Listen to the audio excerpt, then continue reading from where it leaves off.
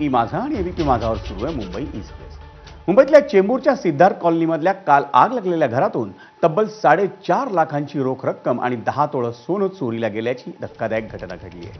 या आगीत गुप्ता कुटुंबातल्या सात जणांचा होरपळून मृत्यू झाला होता पण आग विझवण्याच्या आणि बचाव कार्याच्या बहाण्यानं गुप्ता कुटुंबियांच्या घरात शिरलेल्या चोरट्यांनी त्यांच्या तिजोरीवर डल्ला मारला. ती तिजोरी फोडून त्यातून साडेचार लाखांची रोख रक्कम आणि दहा तोळं सोनं लंपास करण्यात आलंय. घरातली आग विझवल्यानंतर महत्त्वाची कागदपत्र घेण्यासाठी गुप्ता कुटुंबियातल्या सदस्यांनी घरात प्रवेश केला असता त्यांना तिजोरी फोडल्याचं लक्षात आलं.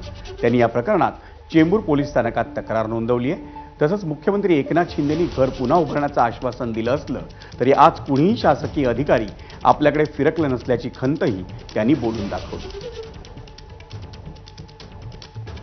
टोटल शंभर ग्रामपेक्षा जास्त सोन्याची वस्तू होत्या.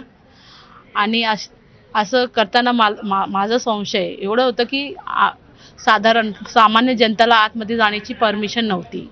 तेव्हा फक्त दम फायर ब्रिगेडचे लोक आणि सफाई कर्मचारी हेच आतमध्ये गेलेले. तेव्हा आमचा संशय पूर्णपणे त्यांच्यावरच आहे.